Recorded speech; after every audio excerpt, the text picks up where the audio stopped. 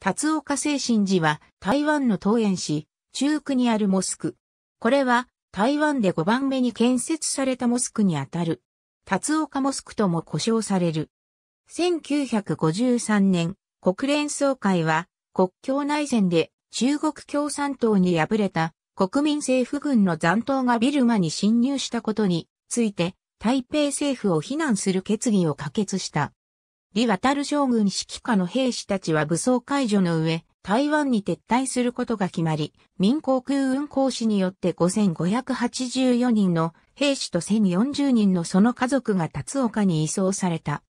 彼らの大部分はムスリムであったが、達岡は台北精神寺から遠く、礼拝しに行くことができなかったため、モスクを建設するために1964年から資金調達を開始した。初代達岡精神寺は1967年に建設が完了した。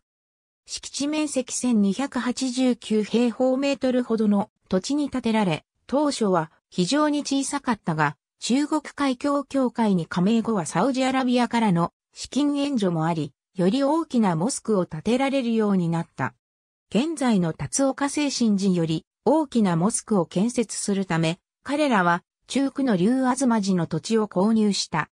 まず31万2000米ドルを投入した第一次開発で150人、収容可能の礼拝室とモスクの主要部が建設され、40万米ドルを投入した第二次開発で、ミナレット、キッチン、寮、シャワールームが増築された。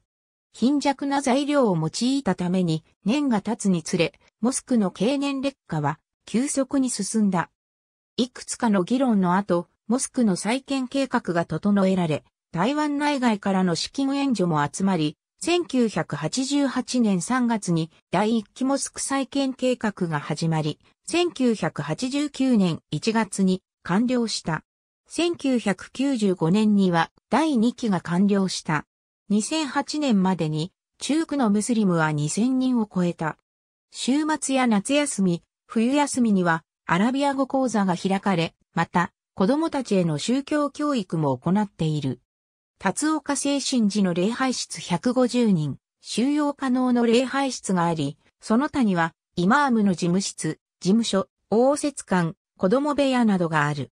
達岡精神寺は台湾鉄道の中駅の南東に位置し、将来的には、東園メトロの達岡駅が最寄り駅となる予定である。ありがとうございます。